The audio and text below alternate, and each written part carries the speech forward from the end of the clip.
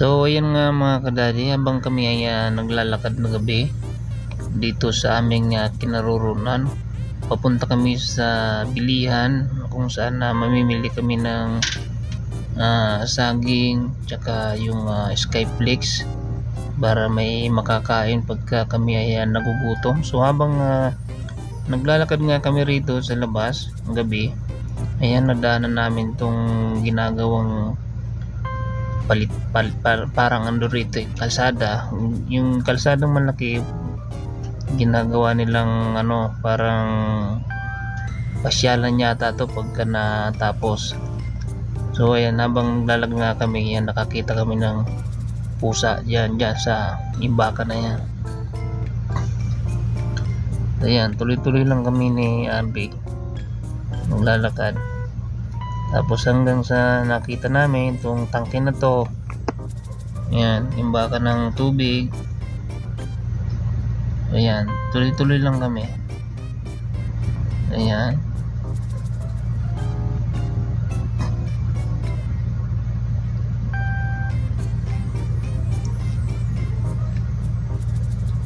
So ang lawak ng ginagawa na pasyalan nito.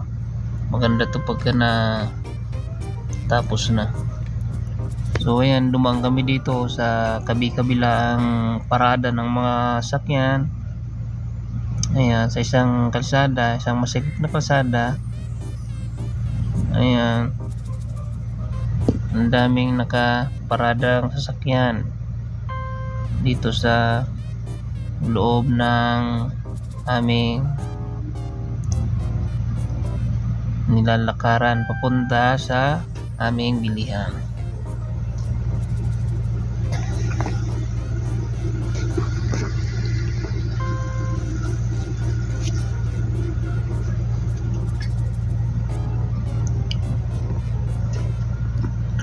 Ayan, nakita din namin yung mga tinambak na simento.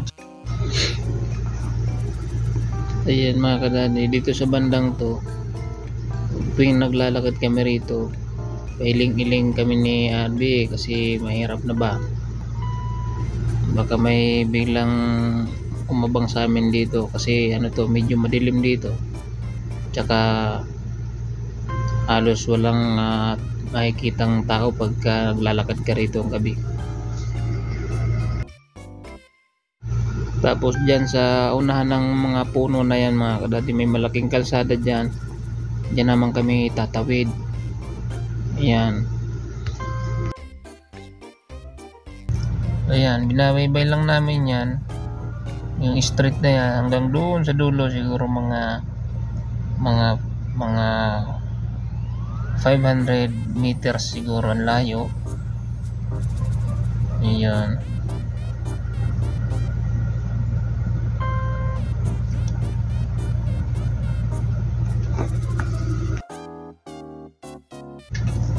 Ayan, dito sa ano na to mga kadade, ayan yung mga imbaka ng mga basura. Ayan, kinukuha na. Ayan, oh. yung truck niya malaki na yan.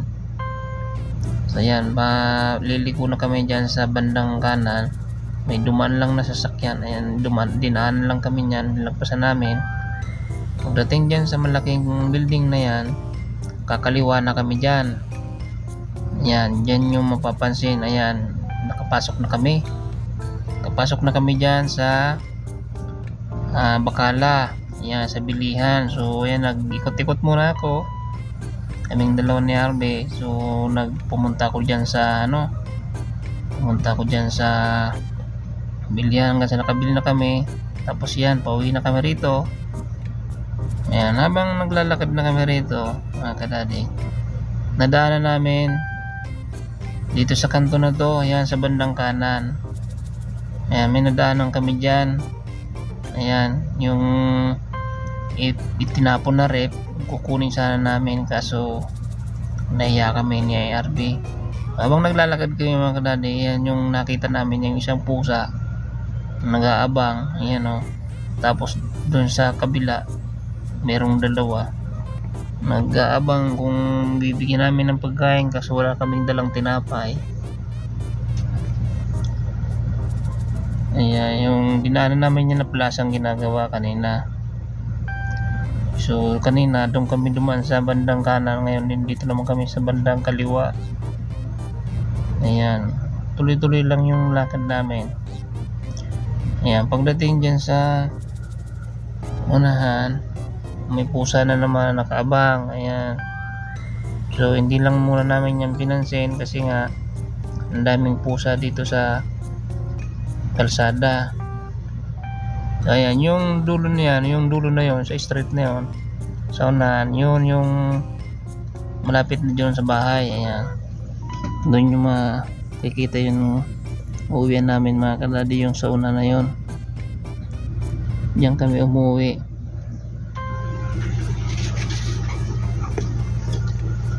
Ayan yung bitbit ni Arbe yung pinamili niya yung sibuyas na may dahon.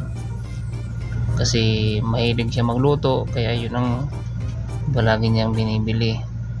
So akin yung pagkain lang yung aking binili tsaka may binili rin akong sibuyas lang yung binili ko. Tapos may saging, skyflakes tsaka isang sterilize tapos di namin na kalain. Napansin namin napansin ni Arbil dito sa loob sa kandang kanan bandang kanan napansin ni RB yung itinapon na kumot naka-plastic malinis. So ang ginawa ni RB tinanggal yung sa ibabaw tapos dinala niya. Yeah, para daw pambalot niya pag siya ay magpapabagahe. Tapos dito mga kadadi tuloy-tuloy lang yung aming paglakad. Parang hindi kami napapagod ni RB kasi sa layo ba naman ang aming nilakad ayan tuloy-tuloy lang kami dahil wala kaming sasakyan. Walang pang pamasahe kaya yun lang ang ginawa namin. Kahit malayo tinaga lang namin nilakad namin kahit gabi. Kasi yun lang yung time namin para bumili.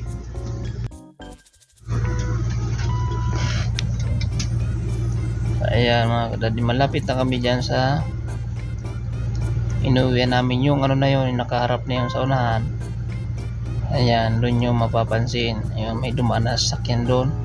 Tatawid kami doon. Tapos doon yun na makikita. Ayan kung ano nangyari.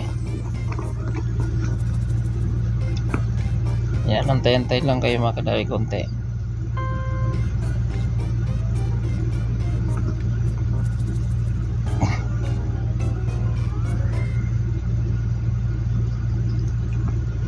Yan, habang naglalakad kami mga kadali, nagpipintuhan kami. Paglagpas ng sasakyan na yan na malaki, kalsada na yan na malaki. So, nagtingin-tingin muna kami sa kaliwa at sa kanan bago kami dumaan. Tapos nung wala nang sasakyan, ayun, tumawid na kami. Tapos pagdating diyan sa may ano, sa may puno na yan, yung, yung malunggay na ano tsaka dates na aming uh, alaga. So ito na ito na yung nangyari mga kanali ayan pagdating namin sarado yung sarado yung bahay. So ayan buti na lang nung binuksan ko siya ayan tingnan nyo mga kadali. Nung dinukot ko yung lock sa loob yun nabuksan ko naman hanggang sa pumasok na kami sa loob madilim pa kasi nga gabi nga kaming umalis. So ayan. Nakapasok na kami sa loob.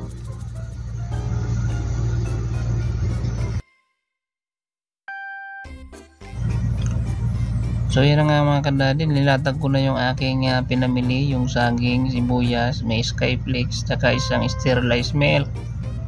So ayan kung mapapansin nyo tin tinutukan ko ng uh, camera. So ayan lamang po. At sa awa ng uh, Diyos nakauwi naman kami. Maraming maraming salamat sa inyong panonood. Gago!